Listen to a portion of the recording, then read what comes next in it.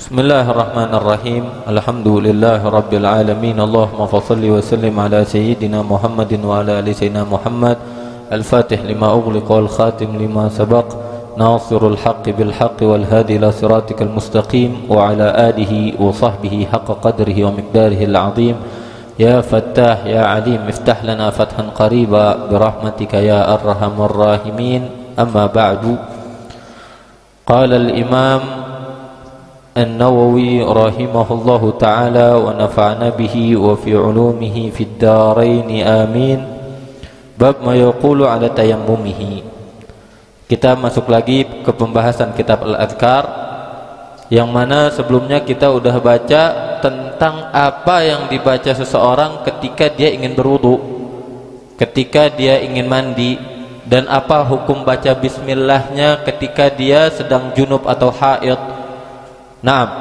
sekarang dilanjutkan oleh Imam Nawawi bab mayaqul ala tayammumihi. Apa yang dibaca oleh seseorang ketika sedang bertayammum.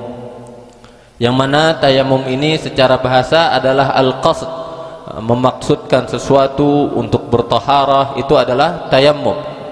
Tayammum ini al-qasdu secara bahasa dan secara istilah dia adalah isalut turab menyampaikan daripada turab daripada debu ilal wajhi wal kafaini bin niyatin makhsusah.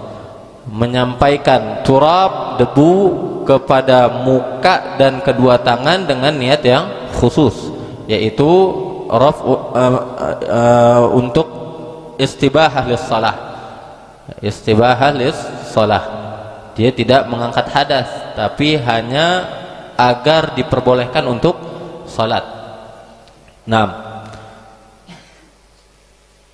Bab ma yaqulu ala tayammumihi. Yustahabbu ay yaqula fi ibtidaihi bismillah.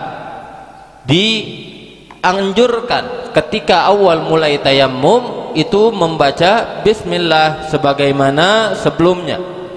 Fa in kana junuban aw haidan fa ala ma dzakarna fil dan apabila dia sedang da dalam keadaan junub atau haid maka sebagaimana yang kita terangkan di bab mandi ini kemarin udah kita terangkan kalau misalkan dia sedang head atau junub maka ada ikhtilaf ulama. Ada yang bilang boleh pakai bismillah ada yang bilang nggak boleh. Kenapa nggak boleh? Karena bismillah minal Quran dan nggak boleh Al-Quran dibaca.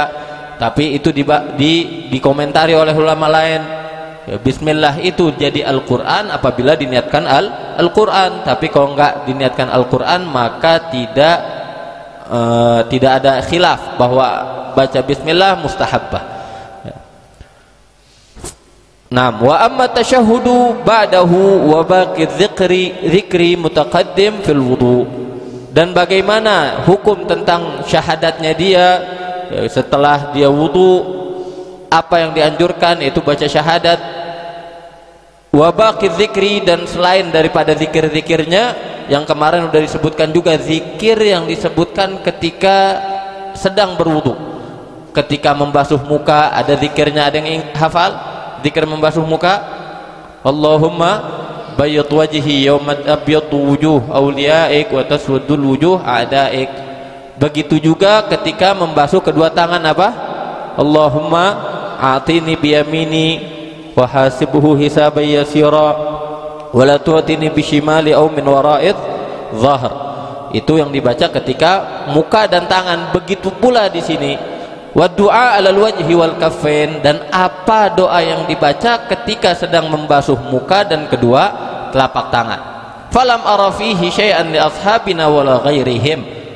Sebagaimana kemarin dijelaskan juga di dalam wudu yang mana Imam Nawawi bilang enggak ada warid hadis dari Nabi sallallahu alaihi wasallam doa a'dha itu enggak ada. Tapi ada dari ulama. Kemarin juga sudah diterangkan apa hukumnya kita mengikuti ulama. Wadzahir dan yang paling zahir anna hukmahu ala ma dzakarnahu fil wudu. Sesungguhnya hukum membaca doa-doa tersebut sebagaimana yang telah kita ucapkan di bab tentang wudu fa inna tayammuma taharatun kal wudu'i yang mana tayamum itu adalah dia bersuci sebagaimana wudu. Ya, yaitu at-taharah at-taharah itu adalah bersuci. Dan tayamum termasuk daripada wasail. Ya wasailut taharah termasuk daripada wasilah seseorang untuk bersuci.